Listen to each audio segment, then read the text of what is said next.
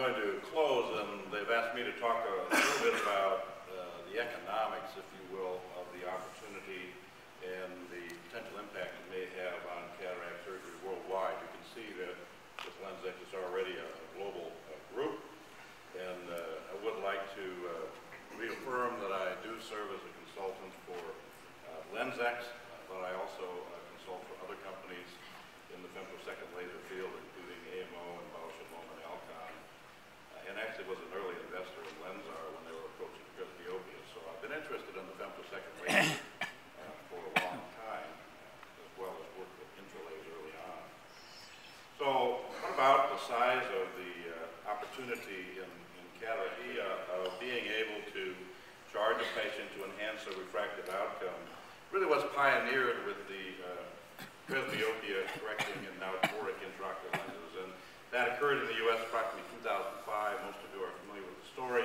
It's certainly firmly uh, entrenched. And the concept is that uh, if we're offering the patient refractive surgery, that's a non-covered service. We remove the cataract at a standard fee, uh, whatever that might be, depending on the carrier. And then we have patients who want to be less dependent on glasses. They want their astigmatism treated. They want their presbyopia potentially treated. And uh, we can charge the patient uh, an appropriate fee for that service. And this is going to basically be a refractive surgical procedure. And one of the key things uh, that we are going to uh, need to show, and I believe we already are showing, is that we can enhance the spherical outcome. The G-focus is going to be more accurate with the uh, LenSx laser. And also uh, the uh, astigmatism is manageable. And we're all quite comfortable uh, with charging for that when we provide that to the patient. It will be a discussion with the patient as to whether or not they would like to have that. Now, cataract technology is complex. We like to think we do a great job with it, but as was shown earlier, there really is uh, a significant complication rate and also not a, a very good efficacy in achieving target refraction. I think uh, Guy Kezirian's work is one of the better in this area. And the target that we need, certainly at least with a premium technology, is going to do is to significantly reduce the complications. And the same thing was true with intralaser LASIK. In our practice, we found that we had a higher number of patients, about 10% more, with intralaser that achieved 20/20 with one procedure, a nice uh, refractive uh, benefit. And uh, we also found that we reduced our enhancement rate from 6% to 3%. But the main thing we found with intralaser LASIK is we significantly reduced the complication rate. And basically, that was what really drives it in our practice to almost 100% intralaser, is the safety factor. So we're going to a refractive benefit, if you will, that's going to give us uh, a license to hunt outcomes.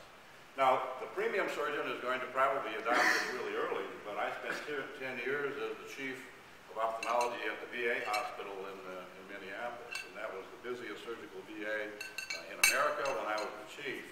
And I think the perfect location for this technology is also going to be in the public hospital. And uh, Zoltan's at a university hospital, but we had a 10% vitreous loss rate in my VA.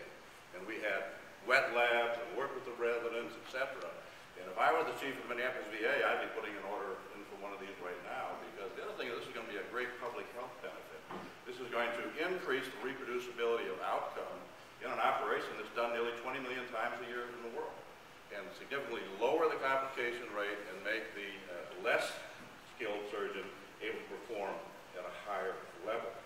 Perfect capsular capsulorhexis, perfect incisions, a softer lens, so the less uh, endothelial cell damage, less ultrasound power, less capillary tears, less vitreous loss. Safety is going to also drive this significantly. So it's not in post just femtophaco. This is going to be a refractive surgery tool.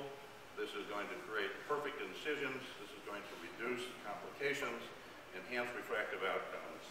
And it's going to, I think, be not just premium surgery uh, in the long run. This is going to end up being something that will be driven by outcomes to the point where I think we'll see it in our VA hospitals, our military hospitals. I wouldn't be surprised since they have the money now that they'll be some of the first to uh, buy this technology and apply it. And in the end, the beneficiary will be assisted cataract surgery uh, is, uh, in my opinion, uh, for real. And uh, it's getting pretty sophisticated now. We know that femtosecond uh, lasers are a great cutting tool, but uh, this is LenSx work, but OptiMedica, LensAR are also looking at this, so is AMO. uh, Femtec and others, but uh, using OCT intraoperatively, you can basically now just sit there and design what you want this to do, create a perfect capsulorhexis, go in and either uh, soften the nucleus, cut it into quadrants, cut it into six pieces, etc. And you can line this up more or less perfectly uh, as to exactly what you want to do. And then you can make the incisions, uh, and you'll be able to actually do limbal and corneal relaxing incisions. And actually, uh, it'll also be a post-op enhancement tool. And so for a lot of surgeons, uh, there's only about 2,500 of the 10,000 U.S. cataract surgeons that are uh, uh, excimer laser trained. And this can also treat hyperopia, myopia, and enhance uh, presbyopia with various patterns of uh, intrastromal femtosecond energy. So I see us actually sitting at one of these femtosecond uh, workstations. Yep, now I don't have it next. I did have it a minute ago. And I'm, you know, I'm not going to run the videos and things because I think I'm taking a little bit too much time, but this just shows a, a LenSx capsulotomy. And uh, next slide. And uh, accuracy is unbelievable as far as what you want to get versus what we do with a mechanical capsulorhexis.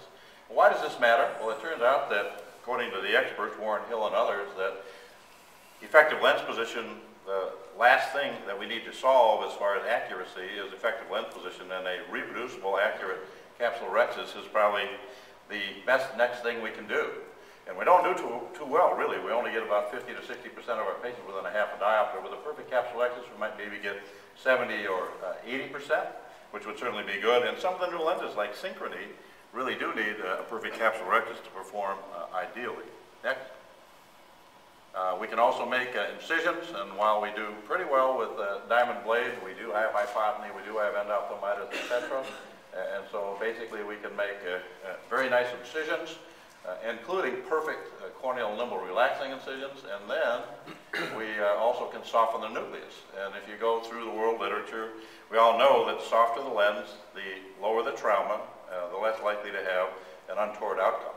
And uh, so, as a, in quotes, advanced private practice surgeon, this is pretty neat, but I spent 10 years as the chief at our VA hospital when I was on the university, and this would be pretty neat to have at a VA hospital, for example, where we run like a 10% complication rate. Now, we're still going to want to train surgeons to do this manually, but I think this is really going to change things uh, in cataract surgery.